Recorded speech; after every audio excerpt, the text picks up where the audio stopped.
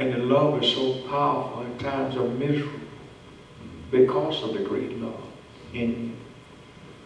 I want to exploit it. I want to really release it.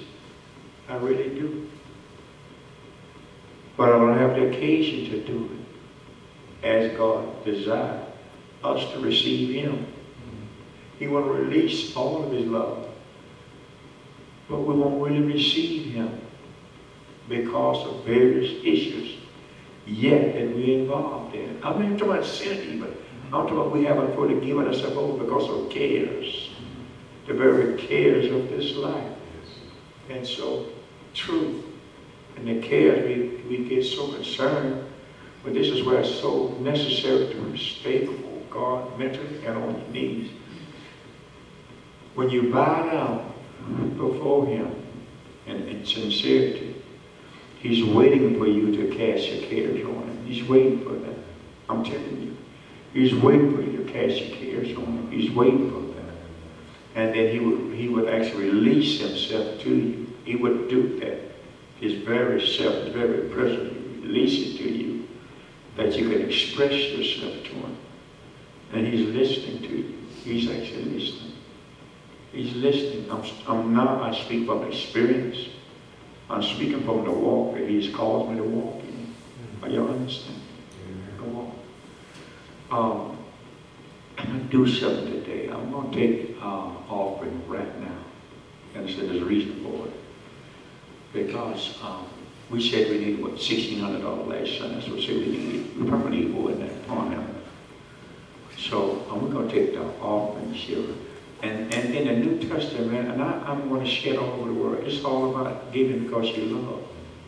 The church was edify itself, not outside the church, the believers, was edify itself what? In love.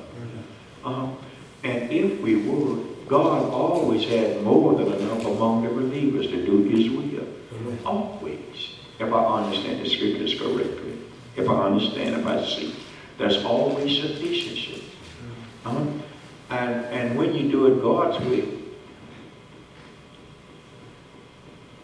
teach. In Philippians 4, Paul wrote to the church at Philippi, and he was admonishing them that the care for him had flourished again. Read it for yourself down It, it had flourished again. Okay? It had flourished again. He said, not that I speak to you uh, uh, because I want. He said, I'm full. Understand? He said, full. Bound. But then he, he wrote to them, he said, but my God, listen to Pastor, but my God shall supply all, watch this now, listen, but my God shall supply all your need. But watch, watch the clause. According, now, now this clause is going to open up the how and the why. See, the statement, but my God shall supply all your need. Now here come, here come the clause giving definition to what was spoken. I mean, understand. Mm -hmm. According, that's what we have to understand. We, but most people understand this first part, teach. -hmm. But my God shall supply all you need. And they stop right there.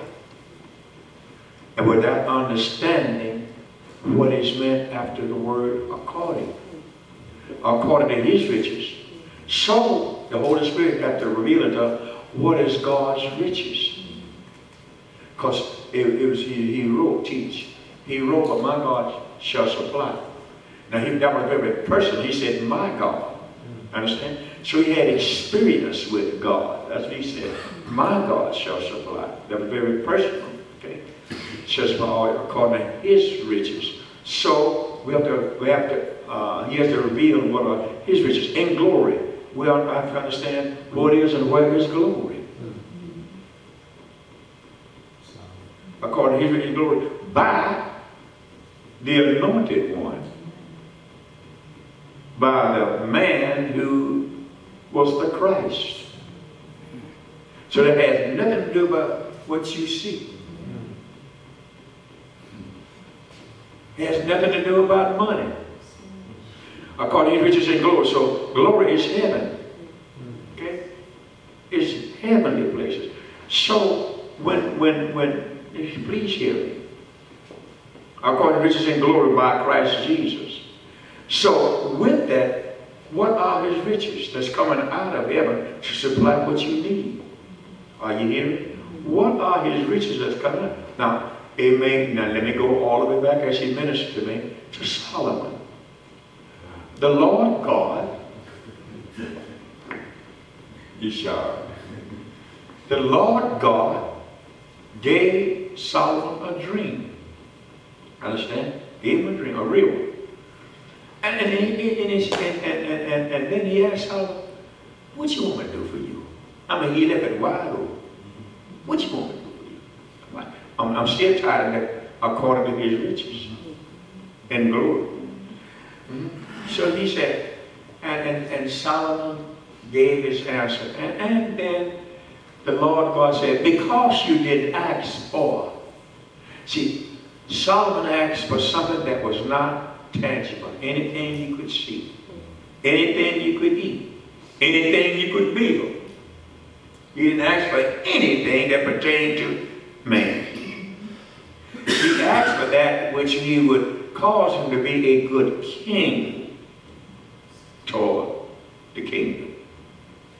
And, and God said, you didn't ask for long life, another man's life. You didn't ask for riches. But here's what I'm going to do for you.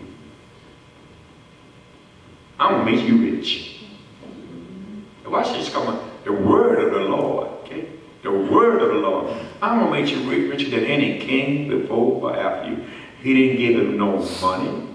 He didn't give him any gold. He didn't give him any oil. He didn't give him any silver oil. Now this, we got to take on this same mind and this same understanding. is left there for us to see. Romans 15, 4, what's been written before time. So we can learn from the, what's already written, how, what God is expecting of us. Hmm. Because he gave us a a legacy to go by.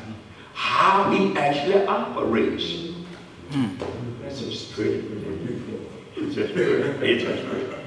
But you have to be converted yes, to trust in it yes, at the point of your need. Yes, mm -hmm. You, you must have a relationship, otherwise the, the need, the care is going to choke because you're going to go by the way of the humanity trying to do all in Jesus' name. You understand? The borrower is a servant unto the lender, is a slave. So God doesn't expect for us to become a slave uh, in his name, saying that this is God. This word washing us. This is a washing word. This is a washing word. But it's it going to put you into a place of dependency on him. It's going to put you in a place of dependency. That's holy. You get it? It's good when you get truth and you hear, it sets you free from the way of man, from the way of the flesh, from the way of tradition. It sets you free even from other ministers and pastors and teachers. It sets you free. Very few people are walking in the depth that God would have you walk in. Revelation said that the depth of Satan's wickedness, that means you have to go deep in through your meditation. You can't just hear it and go, no, no, no you, you have to give yourself over to, to meditate, to go deep to where God actually is. Uh, the Spirit says you the deep things. So in order, to, in order to the deep things to come, you got to go deep. How you do that? By focusing your mind continuously and pondering that thing mm -hmm, continuously to go where the revelations are. Are you understand? To go where the revelations are. Because the Spirit of God says, yeah, what? Yea, the deep things. So hearing it, it ain't deep. And some only hear a sound, the Bible tells me. And they're worried it to the end. Of the huh? But some hear a sound. A sound went out. But then the word goes to the end of it. So the difference is you hear a sound, but are you hearing the word?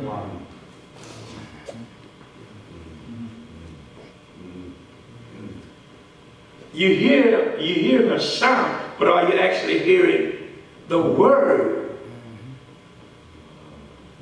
that gives identity to that sound? Mm-hmm. So, this is what This is why it's written, hear what the Spirit is saying to the church. And only the body of Christ can hear the Spirit. Others hear a sound. Man, the revelation of God come out of my Lord talking to us out of my mouth right now. I mean right now. Huh? This is why the Spirit of God had John the. He that had an ear to hear. Let him hear what the Spirit is saying to the body.